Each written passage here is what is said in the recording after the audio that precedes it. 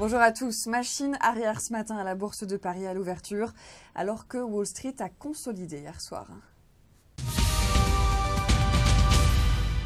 Et on suivra Orange. Le conseil d'administration a voté hier la reconduction de Stéphane Richard à la tête du groupe. PSA, de son côté, a bien signé son accord avec Dongfeng Motor hier en présence du président chinois. Le constructeur s'assure 3 milliards d'euros d'argent frais et renforce son partenariat en Asie. Et puis Airbus Group a annoncé des accords à long terme dans la production d'avions et d'hélicoptères en Chine. De quoi renforcer sa position dans le marché aéronautique à la plus forte croissance du monde.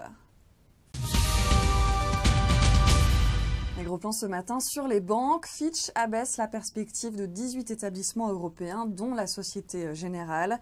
La perspective de la notation crédit de cette dernière est assombrie par le déclin du soutien potentiel des pouvoirs publics en cas de difficulté, c'est ce qu'estime l'agence. Cela aboutit à réduire la perspective de la notation de stable à négative.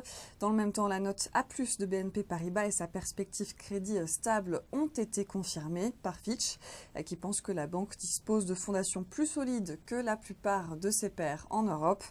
Fitch a révisé les notes de Deutsche Bank, de Commerzbank, de RBS, Lloyds ou encore d'Unicredit. C'est la fin de ce flash. Vous avez rendez-vous tout à l'heure à midi.